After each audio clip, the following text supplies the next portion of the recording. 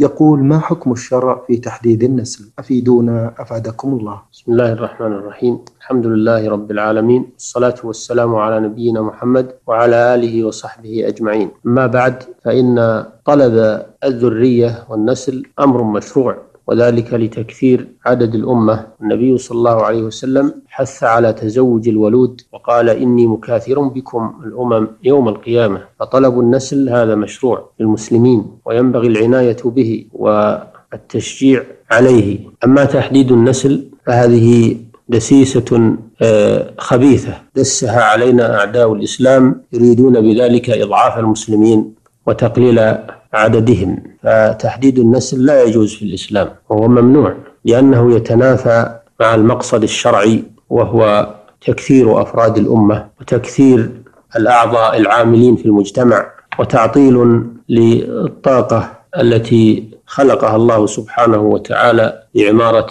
هذا الكون. فالنسل مطلوب وبه تحصل مصالح للأفراد وللجماعات وللأمة.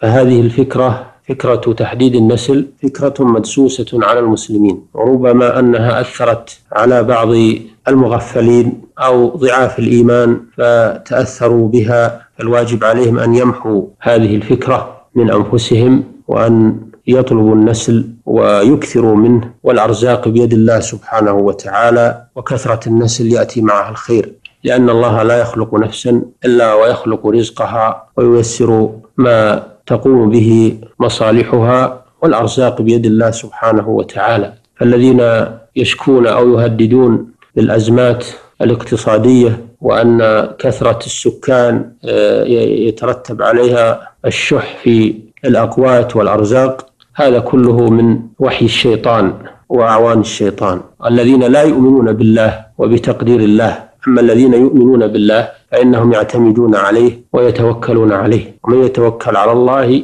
فهو حسبه. إن الله بالغ أمره. ولما كان المشركون يقتلون أولادهم خشية الفقر نهاهم الله عن ذلك. قال ولا تقتلوا أولادكم خشية إملاق. نحن نرزقهم وإياكم. إن قتلهم كان خطأ كبيرا. قال سبحانه ولا تقتلوا أولادكم من إملاق. نحن نرزقكم وإياهم.